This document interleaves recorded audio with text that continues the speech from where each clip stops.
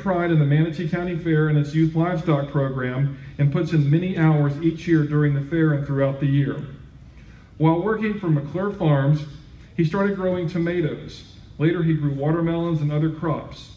During this time, he developed a love for farming that was so great that when he changed jobs from a grower to an agricultural chemical salesperson, he put in a blueberry field at his house to care for in his spare time. He was one of the first to introduce commercial blueberries to Manatee County. He has volunteered to help host the Farm City Week tours by allowing bu- buses to tour the blueberry farm. He runs a family cow calf operation as a third generation Florida cattleman. And as an agricultural chemical salesman, he is constantly being introduced to technology, to new technology and improved methods of farming. He spends his days passing on these modern tactics to local farmers and ranchers to help improve the efficiency of their businesses, livelihoods, and the agricultural industry in general.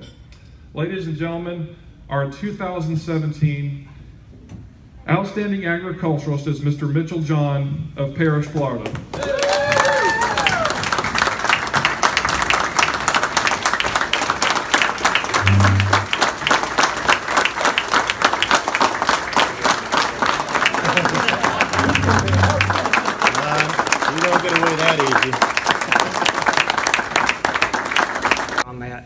Uh, thank y'all.